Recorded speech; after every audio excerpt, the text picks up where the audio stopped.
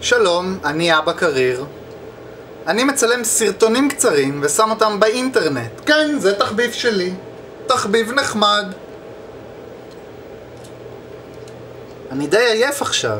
אני עייף. למרות שהרגע שתיתי קפה, לפני שנייה שתיתי קפה. הנה ההוכחה ששתיתי עכשיו קפה. אתם רואים? אח של קפה. קפה אמור לעורר אותך.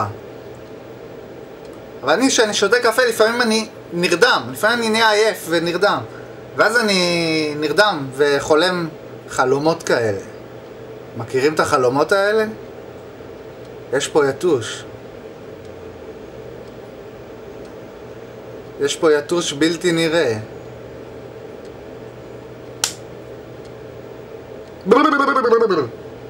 הרבה פעמים אני שותה מים בכוס פלסטיק, אני שותה, הנה פה יש לי לדוגמה כוס פלסטיק שאני שותה במים. עכשיו, לפעמים אחרי שאני מסיים לשתות, הכוס נהיית ריקה ואז אני רוצה לשתות עוד מים בגלל שקיץ וחם ואני צמא וזה בריא.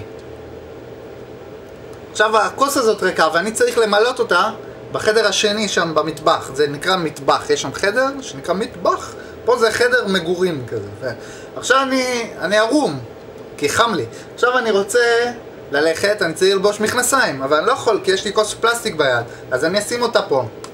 ואז אני לובש את ואז אני לובש את המכנסיים עם שתי ידיים, ואני בינתיים מסתכל בראי ואני רואה את עצמי עם כוס פלסטיק בפה,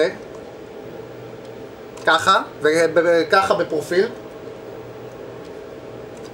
וזה נראה כאילו אני הכלב של עצמי, כי אנשים, אנשים דומים לבעל חיים שלהם. אם יש לך כלב שנראה ככה, ואתה יורד איתו, יורד איתו למטה חמש שנים, אתה תתחיל לראות בעצמך ככה, זה תופעה מדעית. כן.